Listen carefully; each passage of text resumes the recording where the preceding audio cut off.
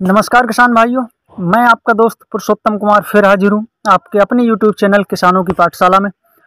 किसान भाइयों, आज हम बात करेंगे आलू की फ़सल में फंजीसाइड के साथ आपको कौन सा टॉनिक उपयोग करना है, जिससे कि आपकी फ़सल रोग रहित होने के साथ साथ एक अच्छा उत्पादन निकाल कर दे।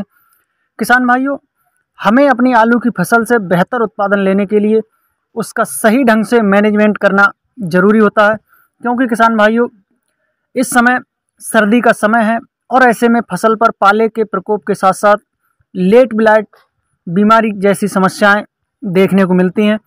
तो हमें अपनी फ़सल में अच्छे फंजीसाइड्स के साथ साथ ऐसे टॉनिक का भी उपयोग करना है, जो कि आलू को फुलाने का भी काम बेहतर ढंग से कर सके। जिससे आलू का जो साइज़ है, वो अच्छा निकल कर आए और हमें अपने खेत से एक अच्छा उत्पादन मिल सके।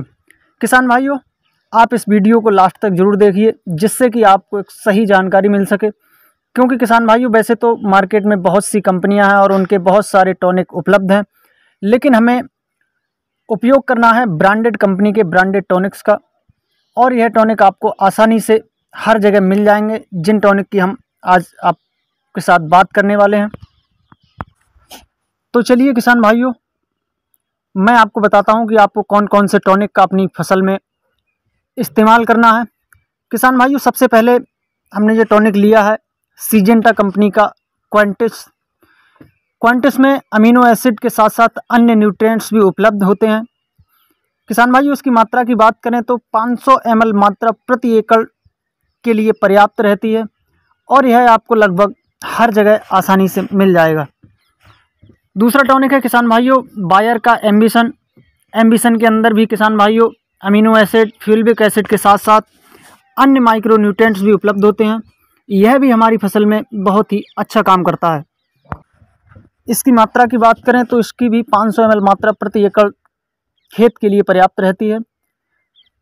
अगला टॉनिक है किसान भाइयों, धानुका का धनजाइम गोल्ड। धनजाइम गोल्ड भी एक बायो ऑर्गेनिक और बेहतरीन टॉनिक है। इसमें भी सीवीड एक्सटेंट उपलब्ध होता रहता है। इसकी भी किसान भाइयों 500 सौ मात्रा प्रति एकड़ खेत के लिए पर्याप्त रहती है। इन टॉनिक्स के अलावा किसान भाइयों, आप पीआई की बायोबीटा, इफ़को की सागर का लिक्विड टॉनिक का भी अपनी फ़सल में उपयोग कर सकते हैं। यह सभी टॉनिक किसान भाइयों, आलू की फ़सल में बहुत ही अच्छा काम करने वाले हैं। यह पौधों की वानस्पतिक वृद्धि के साथ साथ आलू का जो साइज़ होता है, उसको भी बढ़ाने में बहुत ही महत्वपूर्ण भूमिका निभाते हैं। किसान भाइयों, आप लोकल कंपनियों के लोकल टॉनिक्स की जगह यदि आप इन ब्रांडेड कंपनी के टॉनिक्स का उपयोग अपनी फ़सल में करते हैं तो आपको अपनी फ़सल में रिज़ल्ट भी बहुत ही अच्छे देखने को मिलते हैं।